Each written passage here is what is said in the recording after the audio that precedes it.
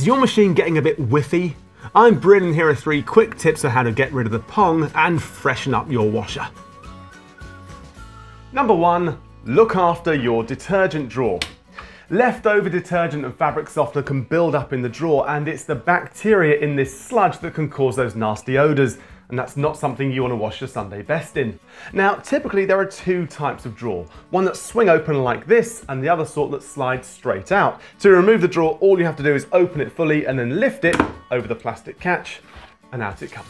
Give the drawer a good clean in warm soapy water. An old toothbrush is a great way to clear the drawer of any mould. You can also leave the detergent drawer open slightly when not in use. This will allow the drawer to dry out and avoid any more mouldy buildup. Number two, look after your door seals. Leftover detergent loves nothing better than to pool in the bottom of door seals, so after every wash, use a dry cloth to wipe away the inside of the seal. Just like the detergent drawer, you can leave the washer door open slightly just to help keep things dry. Number three, Every month run a service or hot wash with something like this lime scale and grease remover. Simply run an empty wash on its hottest setting or service setting if your machine has one.